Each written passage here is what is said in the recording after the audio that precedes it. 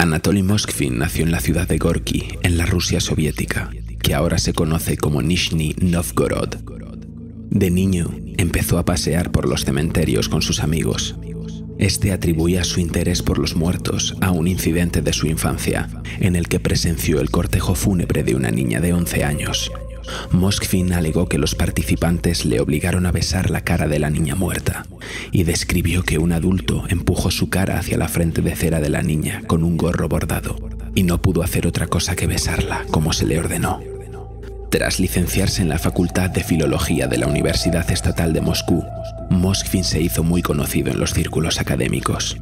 Sus principales áreas de interés eran la historia y el folclore celtas, así como las lenguas y la lingüística siguió conservando ese gran interés por los cementerios, los rituales funerarios, la muerte y el ocultismo, conservando una biblioteca personal con más de 60.000 libros y documentos, así como una gran colección de muñecas. Sus compañeros describieron a Moskvin como un genio y un excéntrico.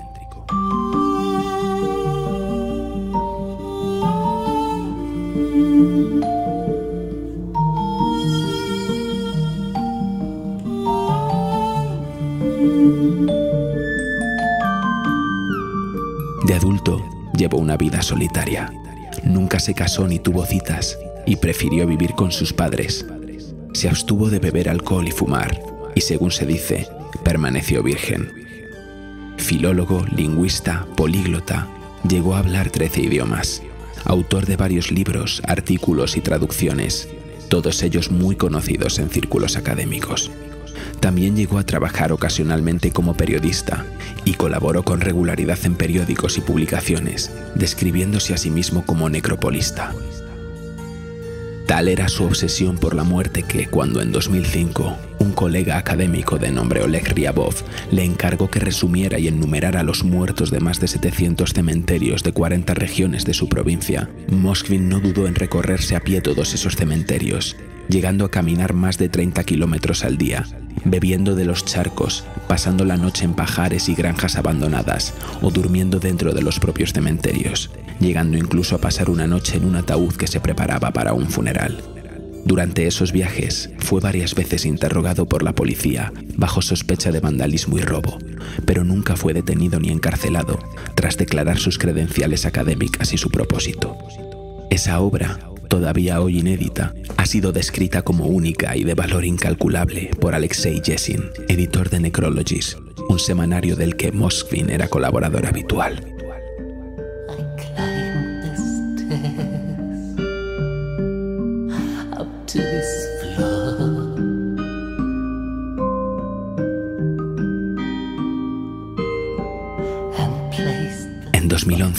Las autoridades de su ciudad comprobaron un inusual incremento de los actos vandálicos en los cementerios locales.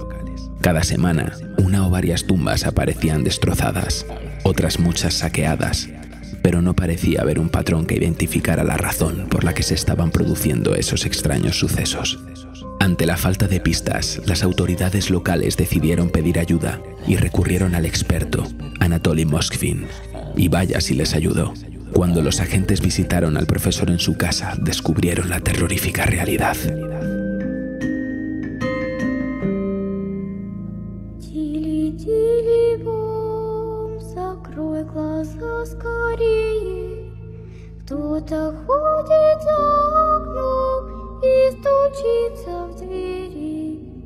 El responsable de los hechos era el propio Moskvin, que conservaba en su casa los cuerpos momificados de 29 niñas, a las que había vestido como muñecas.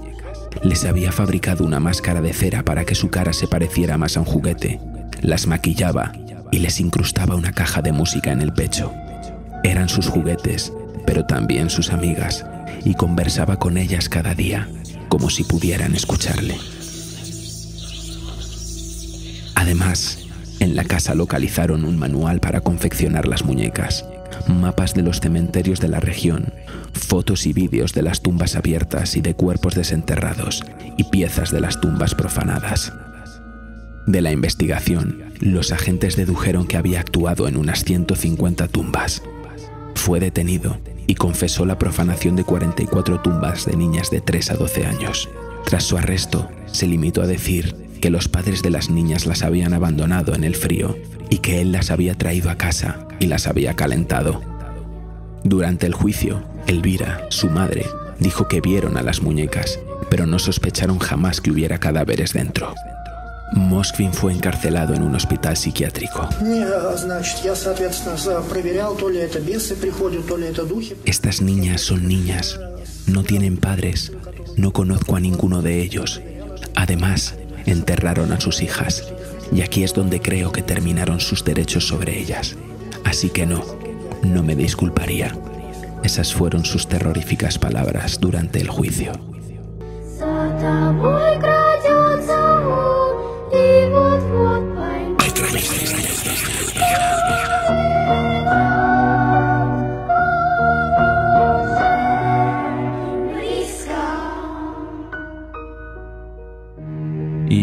Comentar este caso ya están con nosotros una semana más en A través de la niebla Pedro Riutort. Buenas noches, Pedro. Buenas noches a todo el mundo.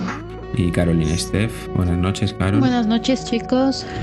Que la verdad es que este caso era, esta vez soy yo el que no lo conocía. Es un caso que, del que me hablaste tú, Carol, y, me ha resultado demasiado impactante, sobre todo cuando estaba buscando información y he visto muchas de las fotos, la, entrevista con la madre de una de las víctimas, pues me ha dejado bastante frío. Yo no sé, eh, Pedro, tú creo que también conocías este, este caso. Yo creo que este caso ha servido de inspiración a algunas películas de terror. Me parece haber que conocía algo de esto, pero no sé si lo confundía con un caso de un doctor que estaba obsesionado con la muerte de su hija y bueno, en fin, desenterró a su hija y la conservaba, bueno, tiene cierto parecido. Quizá pueda que lo confunda con este caso.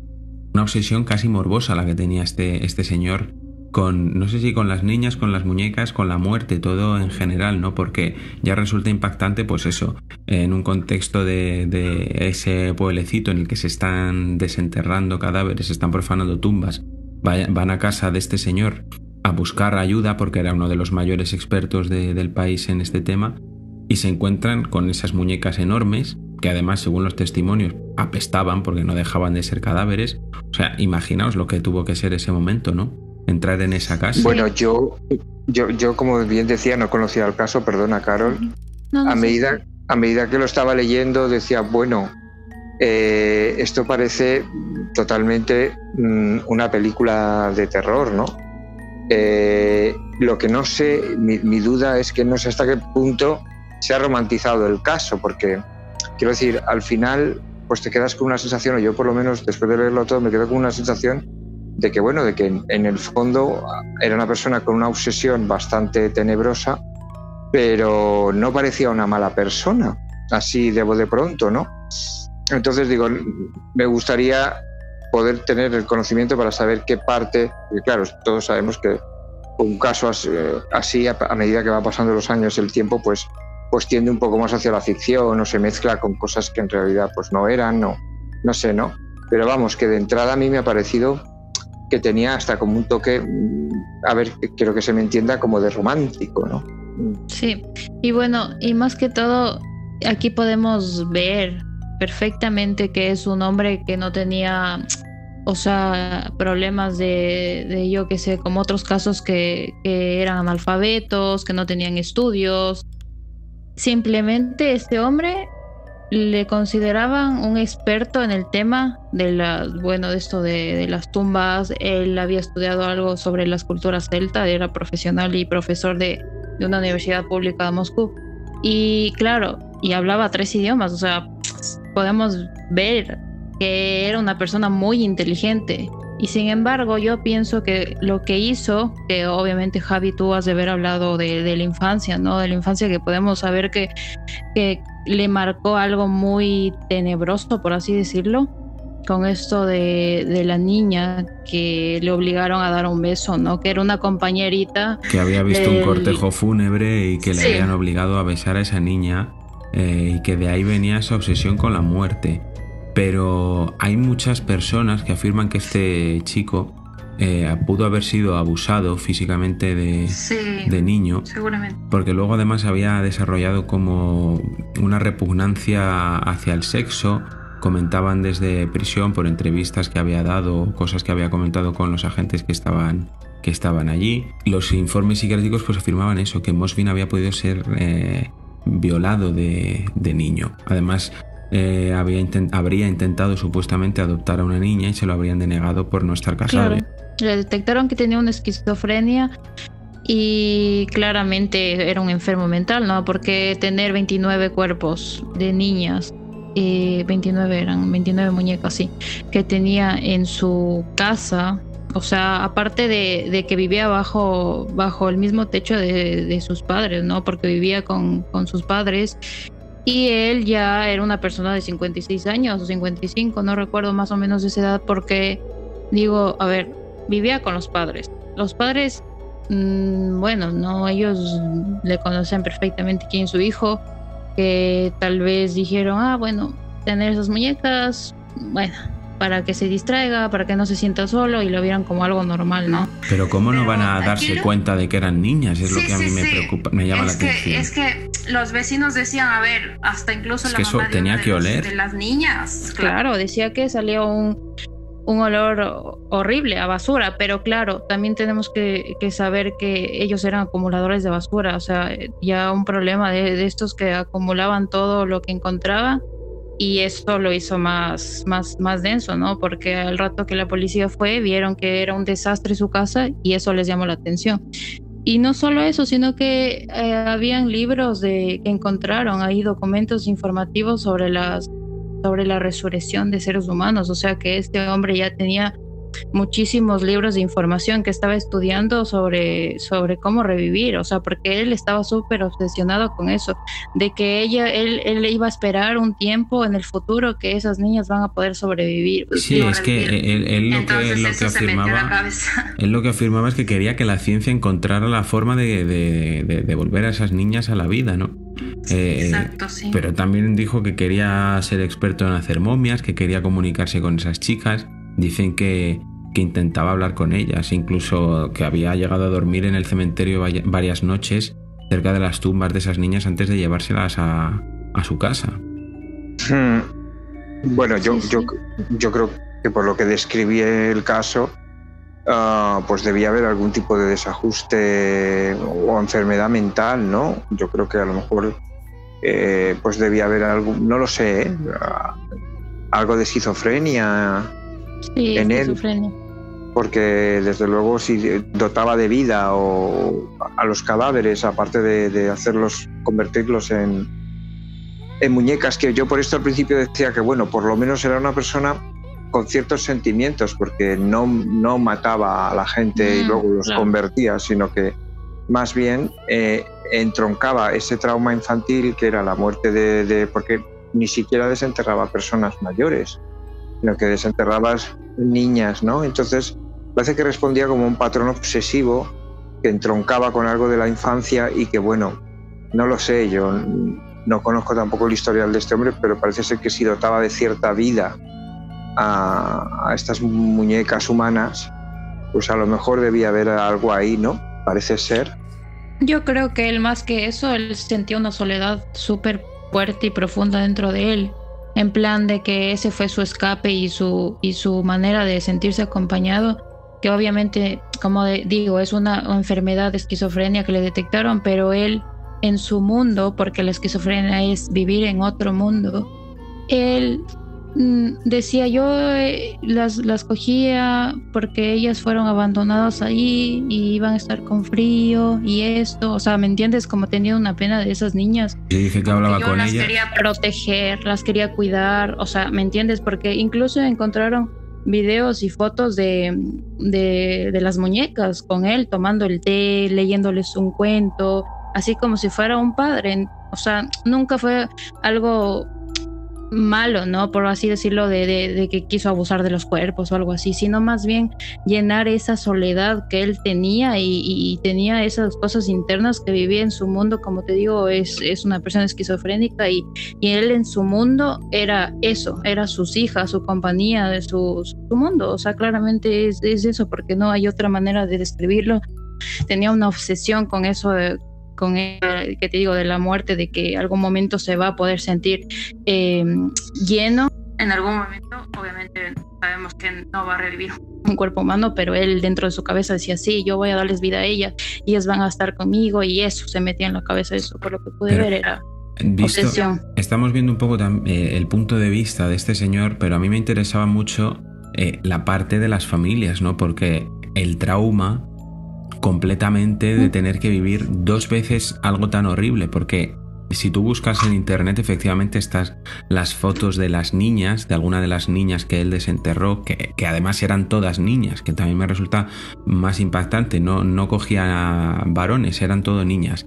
Y esas madres tienen que vivir el trauma de esa muerte dos veces, ¿no? Un entierro dos veces y descubrir que ese señor había convertido a sus hijas en muñecas, que las tenía en su casa, haciendo, pues vete a saber el qué, como decías tú, tomando el té, contándoles cuentos, eh, paseándolas por ahí un, caso, una de las víctimas, la que más me ha llamado la atención, porque es la madre que más se ha dedicado a pasearse por platós y a contar la, la historia y la experiencia, era la de una niña llamada Olga Chardimova, eh, a su hija la había, a esta niña Olga, la había asesinado un drogadicto mientras la intentaba robar dándole golpes con una barra de metal. O sea, si esa ya es una experiencia terrible y espantosa, pues que luego encima alguien desentierre el cadáver de la niña y te la encuentres convertida en muñeca, imagínate lo que tiene que ser. Muy fuerte, la verdad. Y la madre decía que incluso, eh, o sea, ella decía que, que vio a un hombre sin, o sea, sin alma, sin, sin nada, ¿me entiendes? Como eh, estoy frente a la persona que sacó el cuerpo de mi hija y, ni siquiera esperó, o sea, ni siquiera fue, fueron muchos años, ¿no? Fue muy poco tiempo después de que la niña murió, fue en el 2002 y después creo que pasaron, no sé, unos cuantos meses menos de un año y ya eh, fue a Anatoly, se la sacó el cuerpo y, desde ahí ya vivió muchos, no sé cuánto tiempo, nueve años. Nueve años. Nueve años con el cuerpo de la niña y era de las más antiguas, sí, sí, y lo tuvo ahí nueve años viviendo con él, imagínate, o sea que la mamá no, no tenía ni idea. Eh, nueve años, eh, claro, yo digo, la madre de este señor podía decir, hoy nos imaginábamos que eran muñecas de verdad, pero yo no me lo termino de creer, perdona que te diga, no sé. Es un poco difícil. Pero a ver, eh, eh, los padres, yo creo que cuando él hacía todas estas muñecas o eh, muñecas humanas, él ya no vivía con los padres. No, no. Él vivía en casa de sus padres. Ellos. Durante la fabricación de estas muñecas. Ellas, yo, mm. sí. Yo es que había entendido que. Yo es que había entendido que, que, que ya no vivía. Bueno, a ver, hay varias posibilidades. Si viviera con los padres, a lo mejor la casa era tan grande que, no lo sé, por poner un ejemplo, ¿no? Yo qué sé, sé que resulta difícil de entender, pero hay casas donde, bueno, que si él era hijo único, creo que era, o tenía un hermano, no recuerdo, un hijo único pues a lo mejor tenía su lugar donde los padres, no lo sé, por dar una explicación, donde los padres pues no entraban y, él pues ahí, pues, oye. No, sí, sí, los padres estaban conscientes de que tenía esas muñecas, pero como te digo, los padres sabían eh, dentro de ellos que él tenía un problema y ellos lo vieron como, bueno, dejémosle, ¿no? Como él es feliz ahí en su mundo y sus muñequitas y lo que sea. O sea, por eso ellos, ellos todo el tiempo, incluso les entrevistaron y, y bueno, la mamá dijo, no, yo no sabía que eran cuerpos. O sea, obviamente, como digo siempre, los padres van a tratar de tapar eso. Hasta el último momento van a proteger a su hijo de cualquier cosa y, no van a confesar, ay, sí, sabes que sabíamos que eran cuerpos porque eso resulta que serían cómplices, ¿no? Entonces, obviamente es muy, muy, muy frío eso. Antes de, que se descubriese el pastel, este señor eh, comentaba la, la madre de, Olga que había estado visitando durante muchísimo tiempo la tumba de, su hija después de ya saqueada, dejando notas eh, en las que él mismo se autollamaba Ángel Amable, ¿no? Porque decía que había rescatado a la niña. Ellos dicen que temblaban de miedo cada vez que iban a la tumba porque no sabían qué esperarse y que esas notas anónimas iban dirigidas a, la niña, la felicitaba todos los días festivos, la, deseaba buen inicio de curso el primero de septiembre, eh, le decía pues eso, feliz último año en la escuela, no sé qué. O sea, lo que decía esta madre, que imaginemos lo que era leer para ellos eh, esas notas sobre su hija asesinada, ¿no? Que cada vez que, llegaba Año Nuevo y ponía ahí feliz Año Nuevo en la tumba con adornos y encima les llegaba hasta amenazar a los padres, diciéndoles que tenían que levantar un monumento para la niña. E, era una cosa muy extraña todo esto. Era, era una persona con un problema mental ah, que yo entiendo que no creía que estaba haciendo un daño, quizá por ahí mm, digamos que la ira y la rabia se desinfla bastante, ¿no? Porque él llegó a alegar durante el juicio que consideraba que los padres habían abandonado a esas criaturas. Una vez muertas y las habían enterrado y no, pues era como que ya no les pertenecían. Pero en ningún caso les había querido hacer ningún tipo de daño ni, ni nada, sino que simplemente él intentaba pues darles ánima, ¿no? Darles, animarlas de alguna manera, si sirve, y darles una segunda vida a partir de la creación de una, de una muñeca, que no hay que olvidar que ya de jovencito este chico, aparte de estar obsesionado con la muerte, el ocultismo y todo esto, eh, ya tenía su propia colección de muñecas.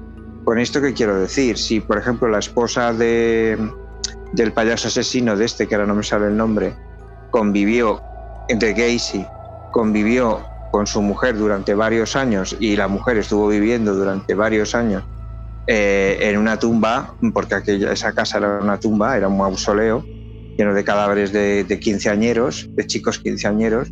Si eh, Dahmer hizo lo que hizo y estuvo X años viviendo en una finca tan ricamente, pues ¿por qué no? Iban a, o sea que entiendo que pueda ser perfectamente que los padres conocieran eh, el, verdadero origen de estas muñecas, pero también puede ser que no lo conocieran.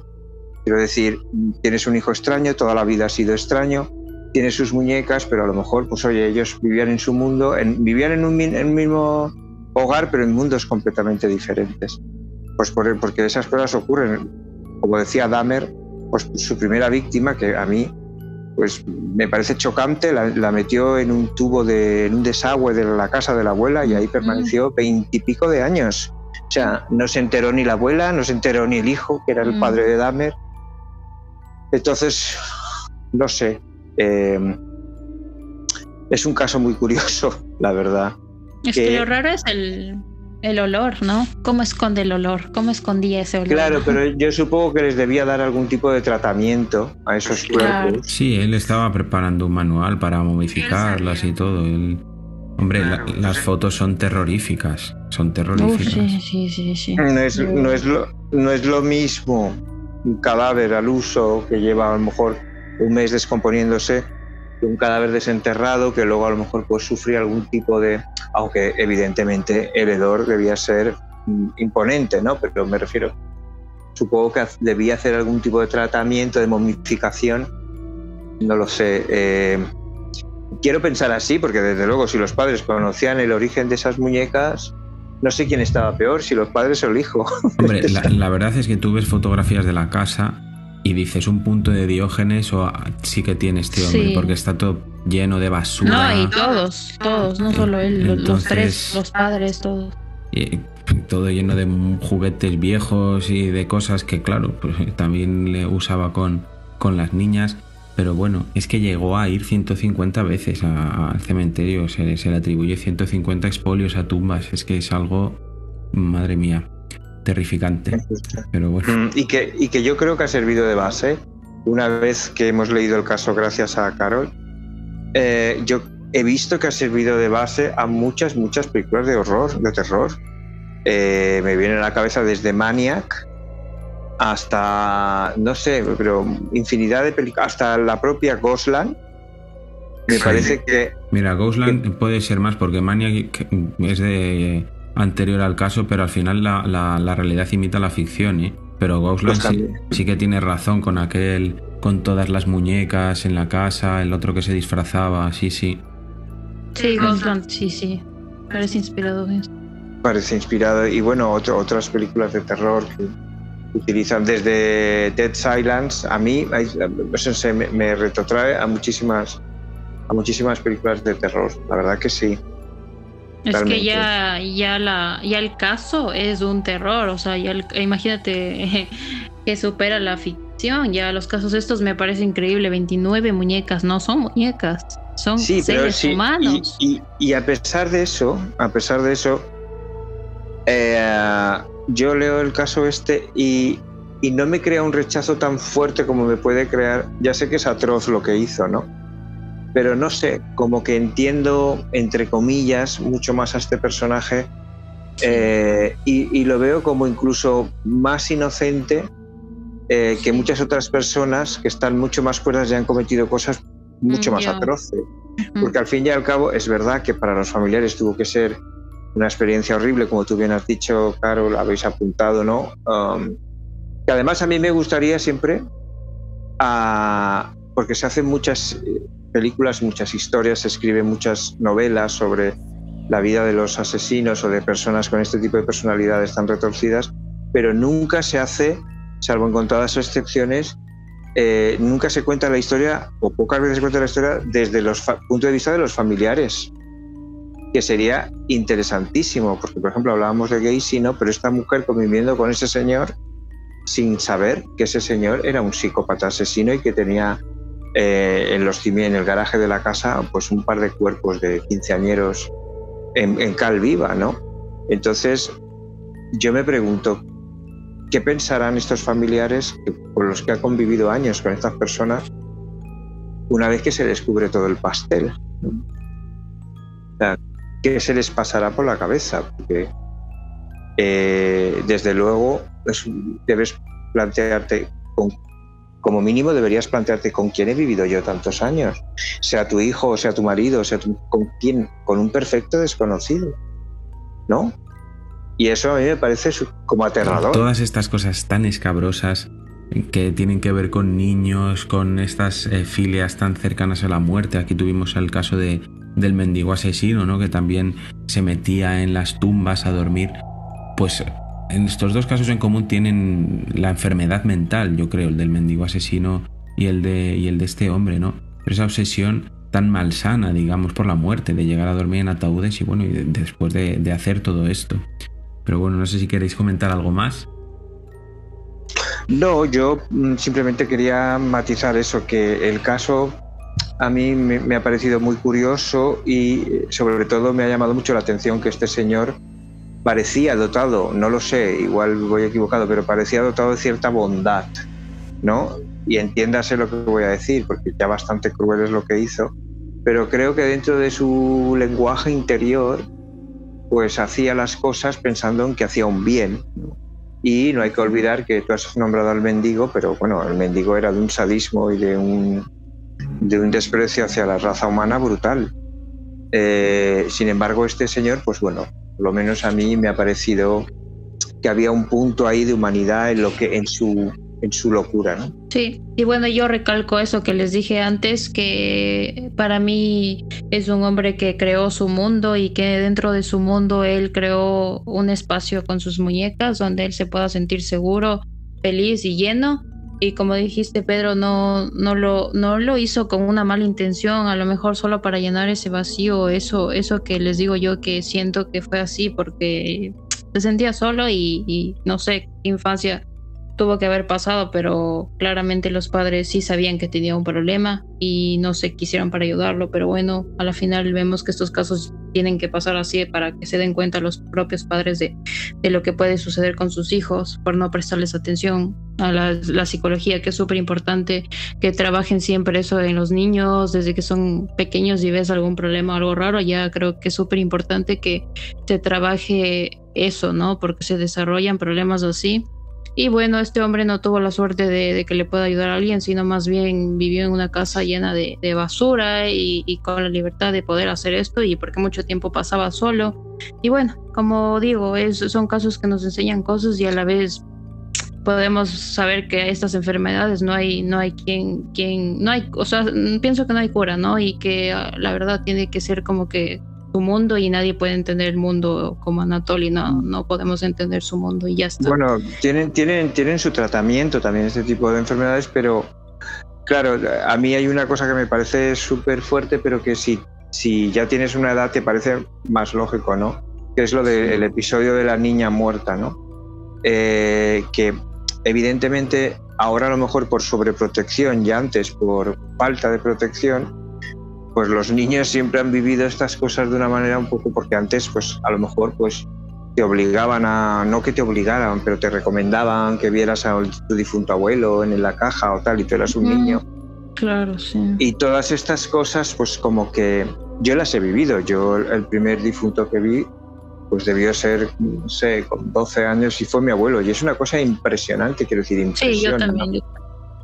Porque, eh, a ver, a lo mejor ahora no estaría eso eh, bien visto para entendernos, sino que a lo mejor se esperaría que la persona tuviera 14, 16 años. Pero yo creo que debía tener 11, 12 años cuando vi a mi abuelo en el ataúd, ¿no? Y es una cosa impresionante, me imagino en, la situación de este niño, ver a una niña y encima que te obliguen a besarla, pues parece una tontería. o sea, tenaz, En su cabeza era estoy casada con ella. Yo opino que hay, hay un para a mí siempre me ha parecido lo que tú estabas comentando, Pedro. Yo también la primera vez con mi abuela fue traumático aquello y, opino que es un culto un tanto enfermizo en torno a, la muerte, como muy de, del dolor y de que eso pues mal llevado pues puede desembocar en cosas como hombre obviamente esto es el mayor de los extremos no para que nos entendamos pero que efectivamente que puede causar traumas es el, mayor de, es el mayor de los extremos, pero creo que hay unas edades muy delicadas, no sé, yo no soy mm. psicólogo, ¿no? Entre que la muerte te llama mucho la atención, o por lo menos en mi caso es así, porque no sabes lo que es, ¿no? No, no, llegas, a, no llegas a tener el conocimiento completo de lo que implica la muerte de un ser humano y al mismo tiempo te crea un, un terror o un horror máximo, ¿no? Es como, es un efecto extraño, ¿no? Como de adversión y, admiración o, curiosidad, ¿no? Evidentemente vivimos una sociedad que tapa constantemente el hecho de morir. Es como un insulto, o sea, la gente parece que se tiene que morir a escondidas, ¿sabes? Porque no, no, no te mueras. no te mueras aquí, muérete en una esquina y haciendo el mínimo ruido posible y luego nos encontramos, pues que claro, que de repente pues tenemos que enfrentarnos a esto sea la edad que sea, es que no queda otra, ¿no? Y que además estamos hablando del trauma madre, el trauma que marca a, la mayoría de la población de por vida, sino a todo el mundo de una manera u otra. El hecho de aceptar tu propia muerte y la muerte de los seres queridos es un, acto muy traumático. Entonces, poniendo, poniéndose en la piel de este niño, ¿no? Imaginaros, pues eso, que te obligan a besar el cadáver de una niña, eh, pues tiene que ser muy duro, muy duro, porque es la primera vez que te enfrentas a una cosa que es lo que más nos marca en esta vida, paradójicamente, que es la conciencia de la muerte, de nuestra propia muerte. O sea, ojo, que no es... Es decir, que a lo mejor dices, bueno, a lo mejor otra persona hubiera reaccionado de, otra manera, sí, pero es entendible que este chico hubiera podido crear ese universo. Eh, esto para mí es totalmente entendible, por desgracia. Pues chicos, hasta aquí el programa de hoy. Muchísimas gracias por estar con nosotros una semana más en A través de la niebla. Gracias a ti, gracias a Carol por, por darnos a conocer, por lo menos a mí, por darme a conocer este caso. Eso es bueno, chicos. Igual que podamos conversar, es, siempre estos temas para, para debatir de, de lo que es la realidad también oscura, ¿no? Porque hay la luz y la oscuridad y bueno, para eso estamos aquí, para hablar también de ese mundo oscuro. Mm y para hablar a través de la niebla. sí. De John Carpenter. y nos despedimos hasta la semana que viene. Pues hasta la semana que viene, chicos. Adiós, chicos. Una buena noche a todos. Buena nit. Buena